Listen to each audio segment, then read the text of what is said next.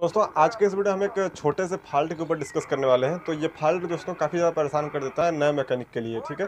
तो ये प्रॉब्लम ऐसी होती है कि कभी टीवी चलेगी, कभी नहीं चलेगी तो कभी कभी जो है सो है। तो हम बात करने वाले हैं आखिर ये समस्या कहाँ से होती है। पावर सप्लाई की समस्या है, जिसमें हमारी पावर सप्लाई नहीं बनती है। तो हमारे पास भी ऐसा ही केस आया, मैं आपको दिखाता हूँ। ये टीवी हमने बना के ओके कर दी है, ये देखिए।